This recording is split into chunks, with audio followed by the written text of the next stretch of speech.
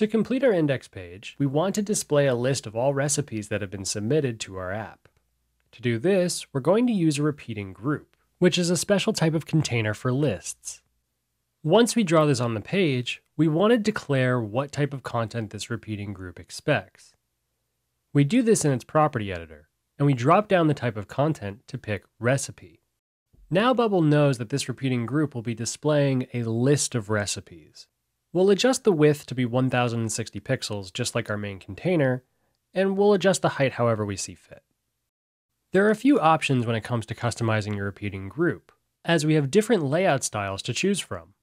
Vertical scrolling will add a scroll bar, where extendable vertical scrolling will add the entries as you scroll down the page without adding a scroll bar. The full list will show as many entries as you have in your database. Fixed number of cells will show you as many entries as you tell it to. And horizontal scrolling will only allow you to scroll to the right, giving you only one row to work with to display your list. For our repeating group, we're going to click Extendable Vertical Scrolling and change the amount of rows to 3.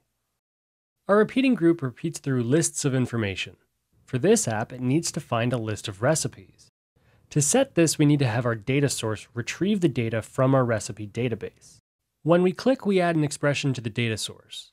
And the expression we want to pick is do a search for which is Bubble's extremely simple way of searching through your app's databases. When we click on Do a Search For, we pick the database we want to search through, and now Bubble is searching through that database.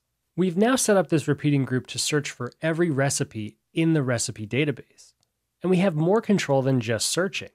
We can also sort the recipes by any built-in field or custom field that we've made. On our index page, we want to retrieve the most recent entries that are submitted to our app. So we'll sort this search by the created date, and we'll set the descending to yes, which will sort our search in descending order, showing us the most recent ones up top. Now that our repeating group's set up, let's drop a text box into the first cell and notice that it now repeats for every other cell in our repeating group. And all that's left for us to do is design each element in the first cell and it'll repeat for every entry that we search for. For this text box, we want to insert dynamic data. And because it's inside our cell, we get a new expression called current cell. Specifically, Bubble is giving us the current cell's recipe since that's the type of content the repeating group is set to. When we select current cell's recipe, we get all of the custom fields and expressions we have access to. For this text element, we want to know the recipe's name. We can then easily design this by selecting a style for this text element. Let's go ahead and draw on another text element right underneath the name. And this one will get the current cell's recipes headline, which will give us a one-liner about that recipe.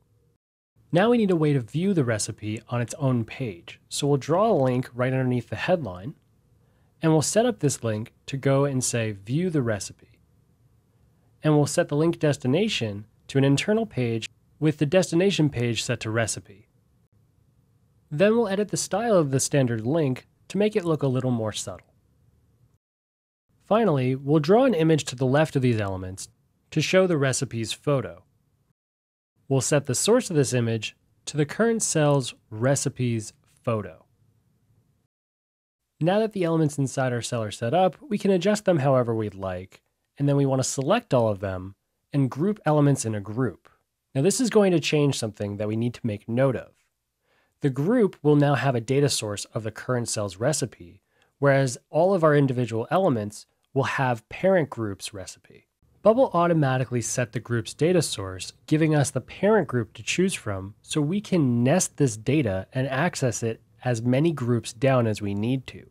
This is how Bubble handles parent-child relationships, and it's something we'll see more of in this course.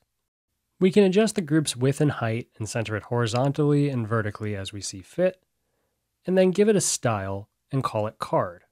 We'll style this so it can really stand out for each individual entry within the repeating group. Now when we preview the page, we have no entries in our database to show in our repeating group. So in the next lesson, we're going to add the post recipe functionality to this app.